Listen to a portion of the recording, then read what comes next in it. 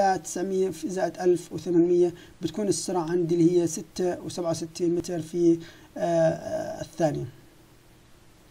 الآن الحال وات اف إيش ممكن يصير لو كان النظام معكوس؟ يعني بمعنى إنه السيارة الواقفة اللي هي 900 والسيارة المتحركة هي 1800 مع على فرض إنه السرعة هي كانت نفس الشيء اللي هي ال 20 نفس المعادلة بنحط بدل 900 1800 في 20 على 1800 في زائد 900 ل 13 وهذا منطقي بمعنى ال لو سيارة صغيرة خبطت سيارة كبيرة كانت واقفة النظام راح يتحرك بسرعة 6 لكن لو سيارة كبيرة ضربت سيارة صغيرة أوكي آه وكانت واقفة فالنظام حيتحرك بسرعة أكيد راح تكون آه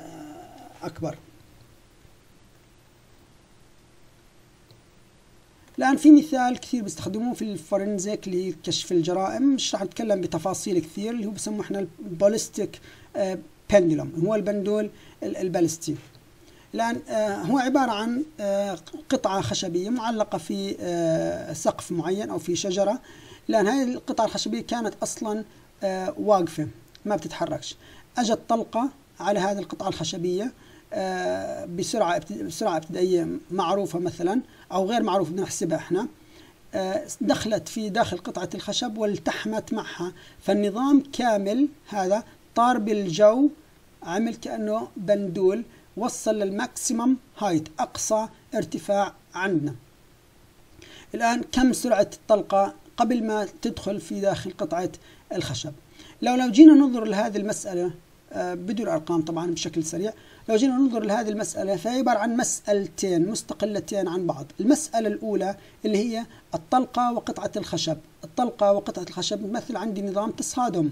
بما أنه الطلقة التحمت في قطعة الخشب فهذه عندي تصادم غير مرن.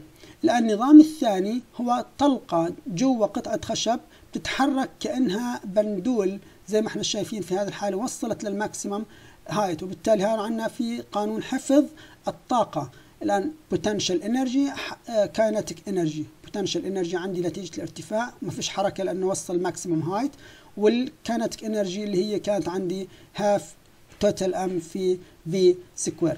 الآن باستخدام ال two setups الموجودات عندي هذول هم التصادمات وال هذا التصادم هذا الجزء تصادم. وهذا الجزء هو عبارة عن حفظ آه الطاقة. ممكن إحنا نحسب كم سرعة الطلقة الابتدائية. خلينا نشوف كيف. الآن الطلقة اصطدمت في قطعة خشب والتحمت آه فيها زي ما إحنا شايفين والنظام كامل يتحرك آه كبندول. الآن ندرسها backward بالعكس. الآن ام جي اتش اللي هي عندي ال potential energy بتساوي عندي half m v square v مين هي v للخشبة قطعة الخشب مع الطلقة. أوكي. الآن هي السرعة النهائية. السرعة النهائية لهذا النظام اللي هي نفسها أو عفوا السرعة الابتدائية لهذا النظام هي نفس السرعة النهائية للنظام هذا قبل آه بعد التصادم. اذا طلقة قطعة خشب. سرعة الطلقة V1 initial إحنا بدنا إياها. الخشب سرعتها صفر. الآن الطلقة لما التحمت في قطعة الخشب تحركت بسرعة VB الآن VB عندي بتساوي اللي هي M1 plus M2 في ال VB اللي هي ال V final بتساوي عندي M1 V1A plus M2 V2 V2 لل block بتعويض الأرقام بتكون عندي ال VB بتساوي بتعويض الرموز ال VB بتساوي عندي m 1 v 1 i على m 1 plus m 2 لأن زي ما إحنا شايفين إنه سرعة هذه هي سرعة قطعة الخشب مع الطلقة بتساوي عندي m 1 v 1 initial على m 1 plus m 2 لأن سرعة الطلقة مع قطعة الخشب اللي هي ال VB في النظام الأول أو السرعة النهائية في النظام الأول بتمثل السرعة الابتدائية في النظام الثاني. فال kinetic energy بتساوي زي ما حكينا قبل شوي potential energy بتساوي عندي kinetic energy بإعادة ترتيب بنلاقي إنه وين المعادلة صارت؟ هنا. الآن m 1 square v 1 a square على 2 في m 1 plus m 2 الآن بإعادة تجميع الحدود كلها مع بعضها الآن بنلاقي اتش بتساوي عندي باستخدام معادلة جي اتش وحفظ الطاقة بنلاقي 1 i بتساوي عندي m 1 plus m 2 على m 1 في square root of 2 gh زي ما إحنا شايفين آه في هذه الحالة.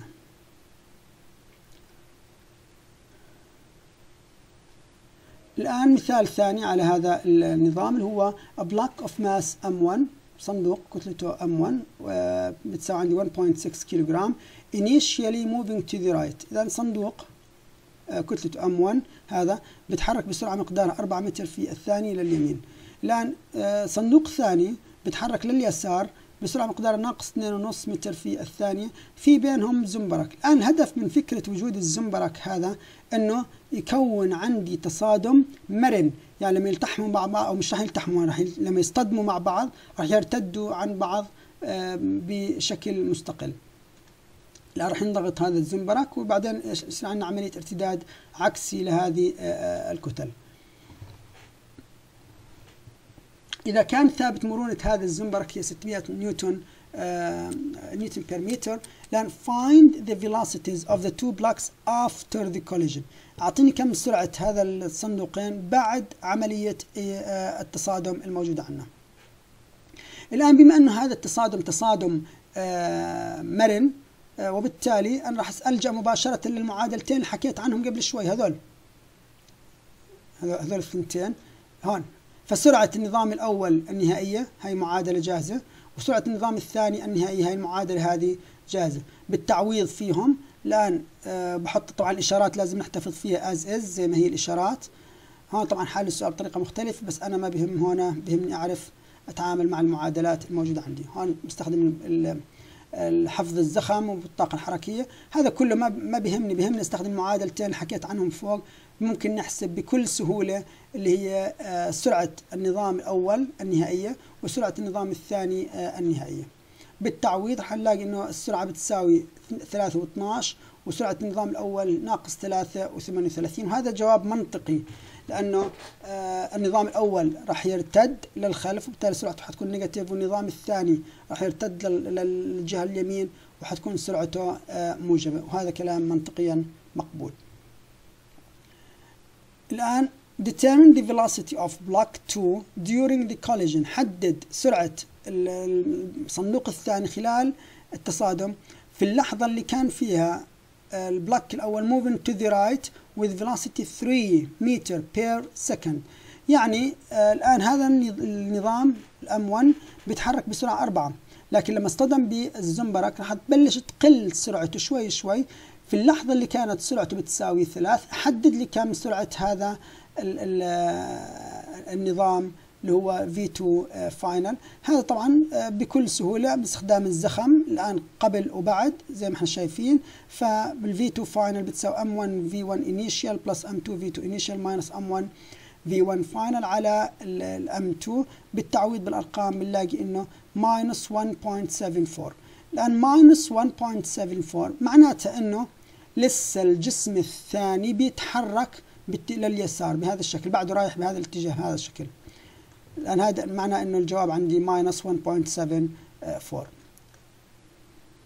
ومنطقيا هذا الكلام أكيد صحيح.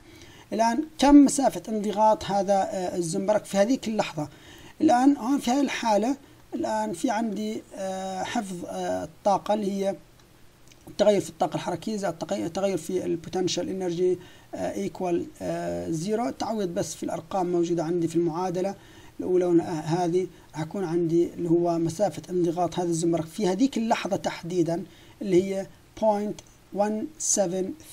متر اللي هي لما طبعا الأرقام موجودة عندي اللي هي السرعة السرعة ثلاثة والسرعة هون already حسبناها minus 1.75 آه لهذا النظام. لأن ضل عنا اللي هي ال collisions in two dimension إن شاء الله المرة القادمة بنكمل في هذا الجزئية. شكرا لكم.